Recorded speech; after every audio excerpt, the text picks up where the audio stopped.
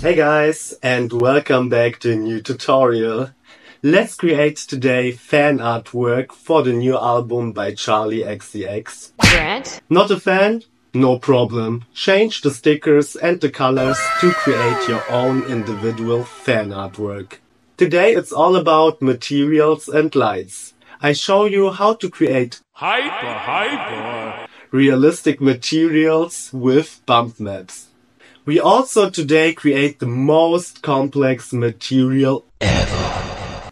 Transparent colored plastic. In the end, we create in Photoshop customized stickers to create your individual fan artwork. Let's go! The 3D objects. Find the code in the video and get free project files. Good luck, guys! Alright, let's start with the tutorial. So first we start to model our whole cassette here. And for this we ha have to go here under the for view window and we need the front window. Now you can drag and drop an image and you also get this image from me on my Patreon under the HDRI and textures link. And now we can start to recreate it. So first we need a cube and you can already rename it to main body. And now we rescale it. So how we need it. That looks good. Now we create this part here. And for this, we also need a cube. Bring it to the right position and rescale it. Perfect. When you're ready, go under the deformer and search for taper. Put it now under it and rename it also to second. It's the second body that we create for the whole cassette. Okay, go under the taper tag, under object, um, press fit to parent. Now it fits our cube. And now we can change the strength. In this case, we need minus nine. And as you can see, the edges are a little bit rounded. To fix it, we have the curvature value to put to 0%. And now we have rough sides. So now we need cylinders to fix this holes here. And they are on the main body. So only first this one, and then we will rename them. And for this, we need a cylinder.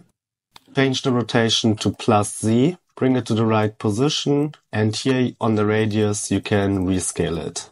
All right. Rename it also to main one. So we know it depends to the main body, the big cassette shape. Okay, now you can copy and paste it and bring it to the other position and go on, copy and paste it and rescale it for the corner cylinders.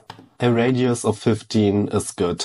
Alright, so we have now the cylinders on the edges. They don't have to fit perfectly because we will bevel also the sides later on. So there will be no, not enough space. So put it more to the inside of the main body and put all under the main object or the main body.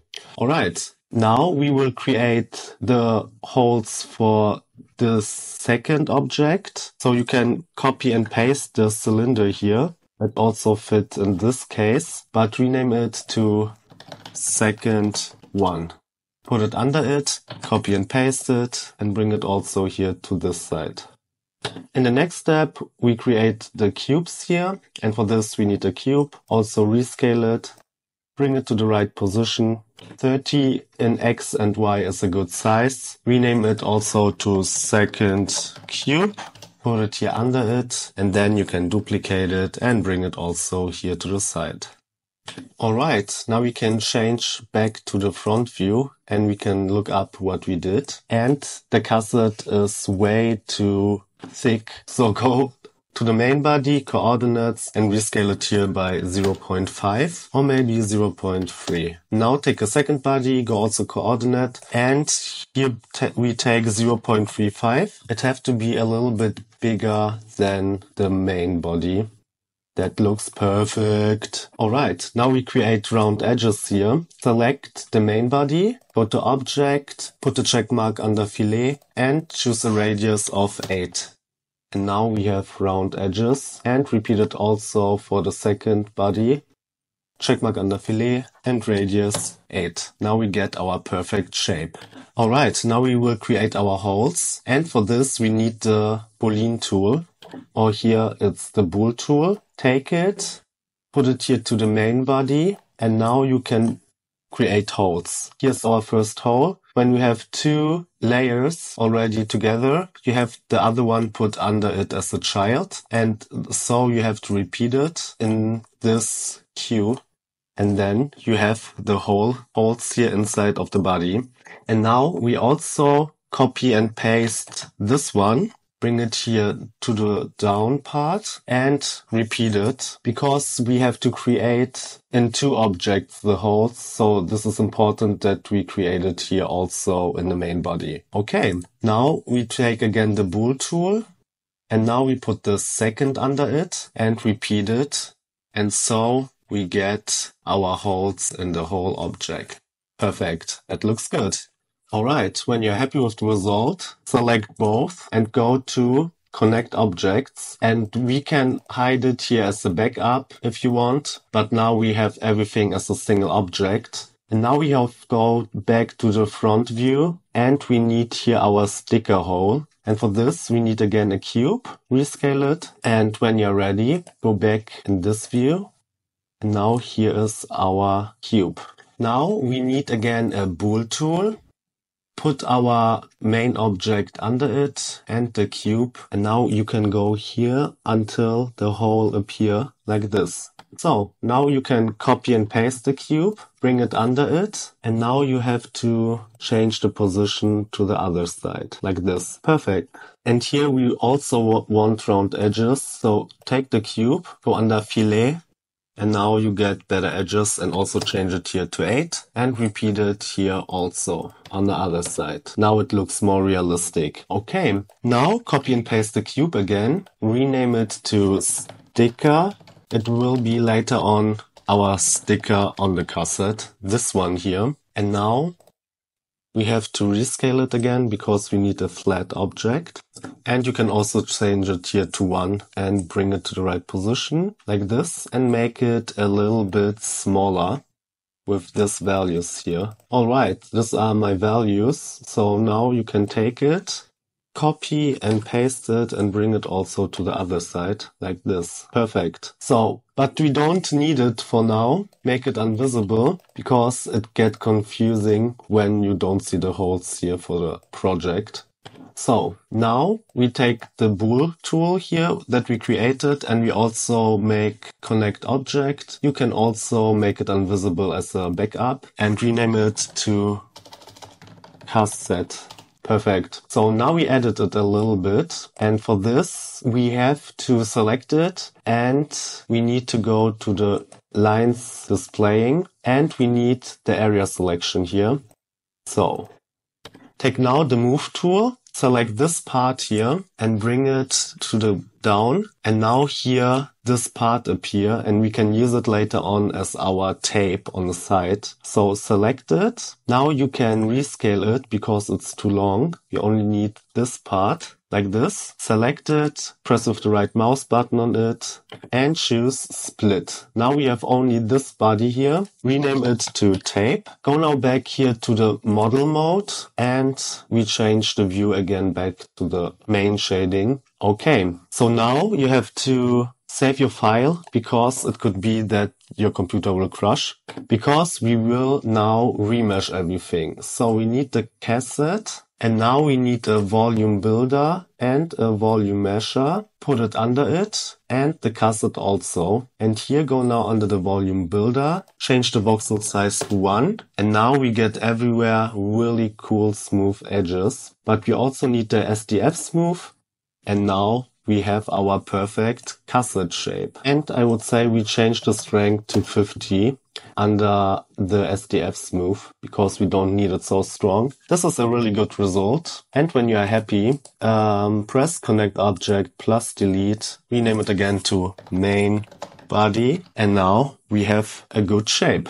So in the next step, we will create the screws here. And for this, we can use our cylinders that we already created. Take one, copy and paste it like this. Now you have to rescale it from the height, something like this.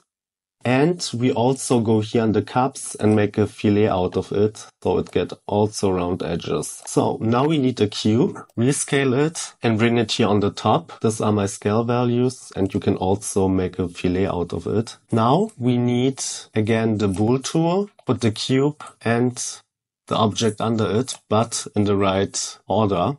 But yeah, I think the fillet don't look good here on the cube. I think the rough edges are better. So now you can copy and paste the cube and bring it also under it and bring it here to this side so that we get our screw. Perfect. So when you're happy with the result, connect the object and delete it. Rename it to screw. Create the null object, put it under it because we will create now a lot of screws. Because we have to copy and paste it for the other holes. Right, I copy and paste it and the origin is somewhere where we don't want it. So delete the copy and pasted version, select the screw and go now under tools, axis and axis center, press execute and now you have the cross here perfectly centered on the screw. Now you can copy and paste it and you can now easily move it to the other points. Alright, when you're ready, take the rotation tool and rotate them a little bit so it looks more realistic because the screws are never shown in the same direction. Alright, in the next step we will create the rings here inside and for this we need a tube. Change here the rotation to plus X, bring it here to this position and rescale it with the inner and outer radius. Oh, it have to be also a little bit inside so you can see how the values work. Right, I think this is a good size here and we need rotation segments 14. And we have also to watch on the side because it's way too long. Perfect. When you are happy with the result, press on the tube and make a current state object of, out of it. Now you get the copy, make the copy invisible. And now we need the area here and we need the line displaying. Now we go under select. Oh, and first we have to select our tube, of course. Now go to select and we need the loop selection. Hold shift and select every second part here, like this. Oh, and now we need the extrude tool here on the side and bring it here inside.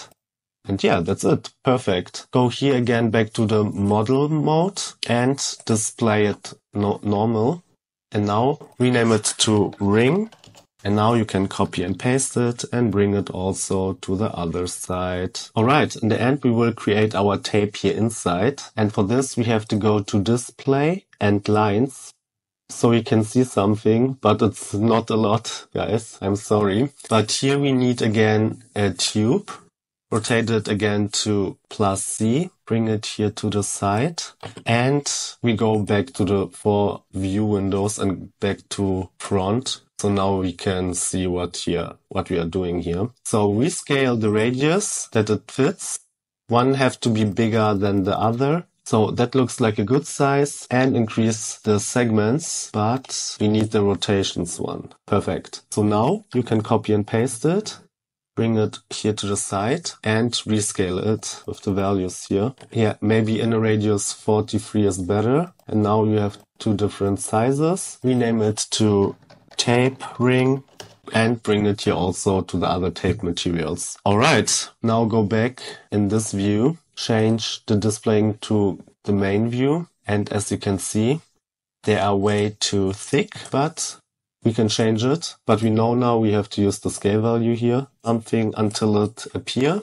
So 0.35 looks good and repeat it here also for the second one. Perfect. All right. In the end, we will insert the camera, but first we change our render region to 100, 1080 by 1350 pixels. This is like the Instagram format. And now we add a camera and choose a perspective of your choice. So you can use the coordinates here, also here the rotation, and in the end, I rotated here also by 275 like this. And in the end, we insert a plane as a background. So press plus Z. Now you can rescale it. Go out of the camera pressing this button here and bring it to the back so that it's really in the background. So perfect. All right. And today we go now to the material part. Do you want the whole project file? You can have it. With over 70 other files that we have already created together, guys. You can find them on my Patreon. Link is in the caption. The materials. Now you can download all HDRI maps and textures for the material part. Go, go, go. Download it. And let's move on with the tutorial. So open here the material manager and also the render view. So, and now we need first the HDRI map and to insert it, we have to go here and we need a dome light. Press add graph and now the folder icon and now you can insert the HDRI map and the name of the HDRI map is studio. Now we go here, we change the intensity to 2 and under coordinates, you can play with the values and the rotations. And for me, minus 90 is the best value. But as I said, play around. You get here different results. Okay, now we create our first material. Double click. This is the background material. Drag and drop it on the background. Now open it and here we change the color to black and metalness to 1. And we also increase the roughness until it's black. Perfect. Now we create the ring material. Double click, rename it to ring. And now you can drag and drop it here on the layers. Open it and here we have to delete this one. Go now here, choose a new material, connect it, and take here under preset plastic. And here we change the color to white. That's it. Become a member on YouTube and get access to the member only videos and to all missing textures to finish this project. There you also get access to the secret color adjustment videos. Get this mesmerizing result only in few minutes and free softwares. Become a pro now and bring your animations to the next level. Link is in the caption. Three reasons why you should follow me on my social media channels. 1. There you can get exclusive shoutouts if you tag me at Art Invader. 2. There you can vote for upcoming projects. 3. Exclusive quick tips to get a pro in 3D. Thank you for your support, guys. And that's it. Well done, Art Invaders. If you like the video, please leave a like, follow or comment. And we see us in the next week.